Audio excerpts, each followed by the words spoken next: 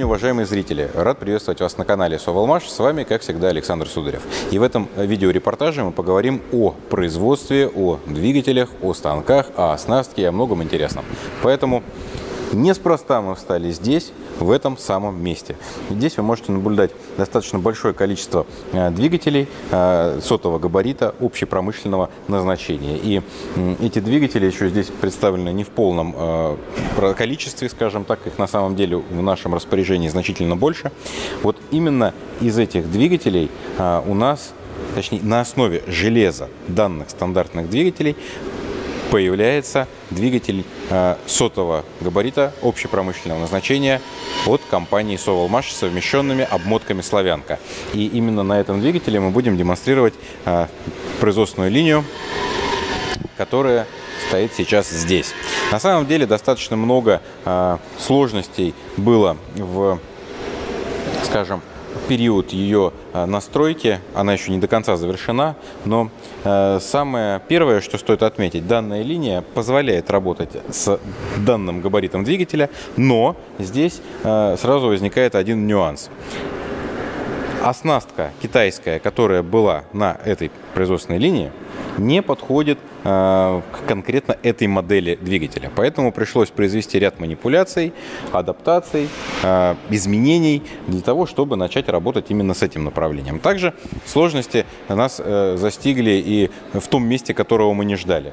Контроллер на одном из наших станков, в частности вот на этом, вышел из строя, и нам пришлось заказывать, скажем так, другой, также с территории Китая. Он пришел, мы его смонтировали, но здесь опять не обошлось без приключений. Почему? Потому что преднастройки этого контроллера были предназначены для работы в составе другого станка. Ну, подробнее о всех этих злоключениях расскажет Евгений Дуйнов. А, расскажет нам, на какой стадии находится работа по пусконаладке. Ну и приятного просмотра. Так, здравствуйте, уважаемые зрители, коллеги, партнеры. Сейчас мы находимся около линейки производства статоров и синхронных электродвигателей. Сейчас завершаются работы по пусконаладке данной линейки для изготовления пакетов двигателей сотого габарита.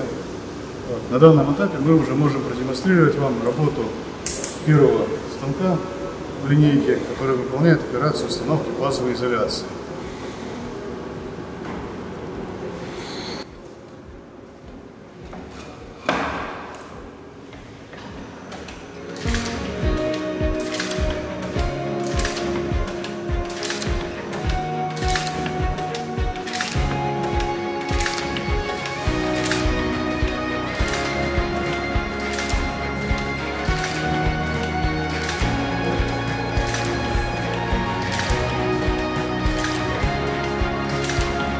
В данном этапе мы уже можем полностью сами изготавливать ленты для базовой изоляции на своем оборудовании, ну, распускать рулоны для нужной, до нужной нам ширины. Вот. Следующим этапом будет окончательная пусконаладка станка для втягивания обмоток, для которого необходимо изготовить еще несколько деталей, и он будет полностью готов к работе. Вот. Станок бандажировочный, промежуточной формовки, финальной формовки готов к работе Поэтому скоро ожидаем пробный запуск линейки производства и подготовку двигателей, изготовленных на данной линейке, уже к лабораторным испытаниям для подтверждения всех характеристик. Сейчас мы находимся у станка бандажировочного, который выполняет обвязку лобовых частей обмотки двигателя. Данный станок доставил нам немало проблем, потому как у него вышел из строя контроллер, который управляет всеми механизмами станка.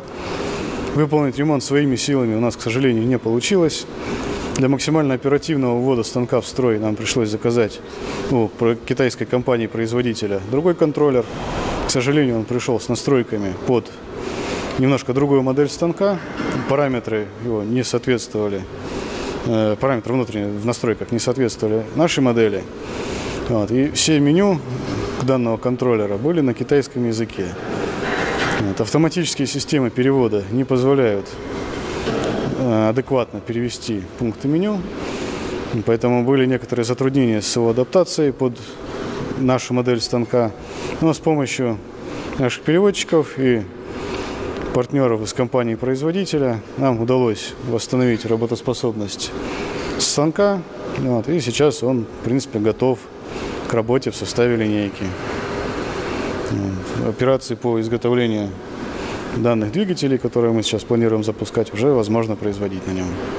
Осталось произвести небольшие манипуляции по финальной его отладке настройки, чтобы он максимально качественно выполнял свои задачи. И все, он будет полностью уже готов к эксплуатации. Ну, в завершении сегодняшнего видеоролика вашему взору я представляю УШМ Круг 230 мм, производство Совалмаш. Корпусные элементы выполнены промышленным способом. Они отлиты из специального пластика. Здесь мы с вами наблюдаем логотип Совалмаш, название Совалмаш. Это вариант инструмента, выполненный специально для работы а, в таких трудных условиях а, применению, скажем так, по назначению. То есть он очень а, надежный, прочный.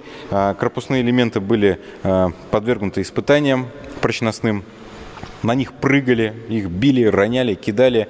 И даже несмотря на то, что внутри не было начинки, они э, не трескались, не откалывались и показывали себя очень даже хорошо и надежно. Определенные изменения во внешнем виде еще вполне себе могут быть. Это, скажем так, вот э, первая итерация данных корпусов. Но сейчас, мне кажется, первый раз мы вам демонстрируем УШМ, собранную полностью именно в том виде, в котором вот она э, выполнена промышленным способом. Поэтому вот что я могу сказать? А, как вы видите, проект развивается не только в качестве стройки, да, не только в качестве э, земляных работ и так далее. Мы все-таки с вами работаем над созданием производственных линий. И несмотря на то, что объект еще не достроен, процесс идет полным ходом, уже стоит технологическое оборудование, уже мы говорим о пусконаладке, уже мы говорим о запуске продукции собственного производства. Это и УШМ, и двигатели сотого габарита. Поэтому то ли еще будет, когда мы запустим наш комплекс. Ну а вам спасибо за внимание. Оставайтесь с нами, подписывайтесь на наши социальные сети и будьте в курсе всего, что происходит в жизни проекта Соломаш. Спасибо.